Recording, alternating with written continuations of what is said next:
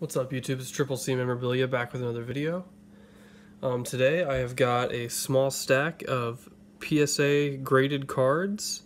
I just got these back in a group submission and I'm going to be showing them to you guys. So, super excited to have these back. Sent in six cards, I got three nines and three tens, so not too bad. Um, in the background I've got just a few of the PSA cards in my collection. I've got this uh, 1991 Topps traded Darryl Kile in the Gem Mint 10. This is his rookie card. I've got this uh, 2018 Topps Gem Mint 10 of Paul DeJong, numbered to 25. This is the red parallel, uh, the auto relic cards from last year.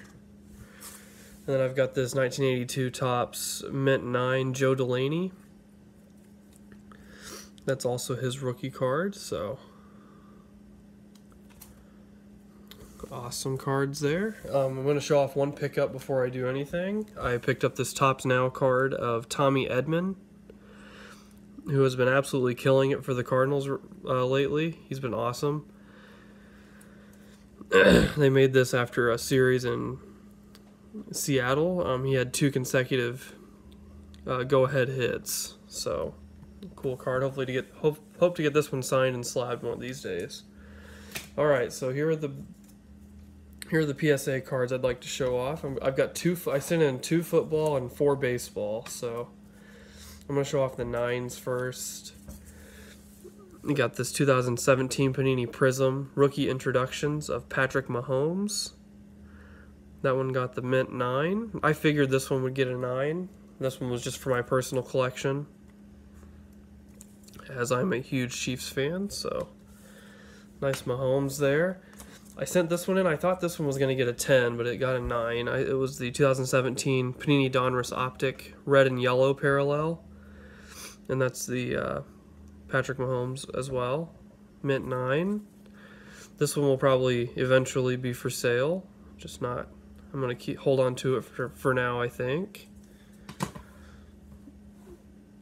There's those two, and then I got one nine in a baseball. It was the 2018 Topps Finest Gold Refractor of Paul DeJong, number 250. Got a mint nine in that one. Not positive why it got a nine. I thought it was a pretty sharp card, but I guess someone at PSA thought that it was a nine, so that's all right.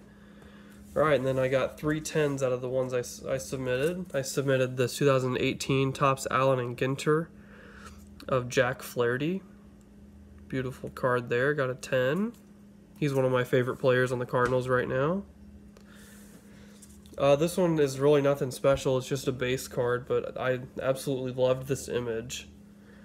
And that is why I submitted this one. It was the uh, 2018 Topps Gypsy Queen of Yadier Molina and it got a Gem 10. Yeah, not really anything special about it, just I absolutely loved this picture and 18 Gypsy Queen was awesome, so I'm tried, glad I have a 10 for the collection. This next one I'm really happy about. This was the uh, 2018 Topps Chrome. This is the Sapphire edition. And it's the red parallel of Paul DeJong, and it got a Gem 10. These reds are numbered to 10. I like these just because it's the Cardinals colors, so the red obviously looks awesome. They release this at the end of the year, and they're they do all of them in the Topps chrome and blue sapphire, and then they do a few of the reds, and then they have other other colors as well. But yeah, happy to get this one, and happy to get that one in a Gem 10. So, all right, those are my six these are my six uh, submissions. They were done through a Facebook group. So thanks Mike for doing all this. You're awesome. And thank you guys for watching the video. Hope you have a nice day.